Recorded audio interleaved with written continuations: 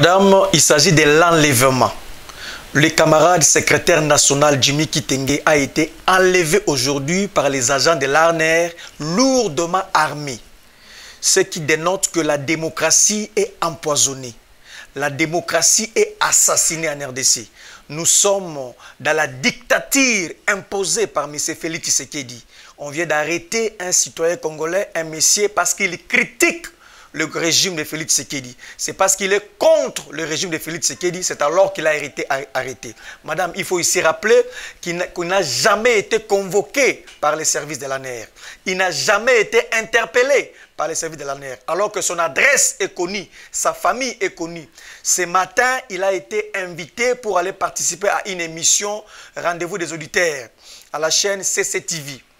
Notre camarade secrétaire national, il euh, quitte sa maison, lui, pour aller faire cette émission, mais émission dans la sainte de cette euh, maison. C'est alors qu'il a vu huit personnes lourdement armées pour venir l'arrêter, le menacer comme pas possible. On a même caillassé sa voiture, on a même fouillé sa voiture jusqu'à détruire sa voiture.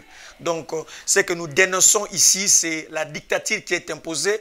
On cherche à nous intimider à nous faire taire, à nous faire oublier si la scène est politique. Nous disons que c'est de la dictature que M. Félix Tshisekedi veut imposer. Nous attirons l'attention de la communauté nationale, la communauté internationale, et nous disons que nous n'allons pas avoir peur de ça. C'est un régime agonissant, c'est un régime finissant, c'est un régime des incompétents, c'est un régime de tribalistes, de népotisme, et nous n'allons jamais arrêter de dénoncer le méfait de ce régime.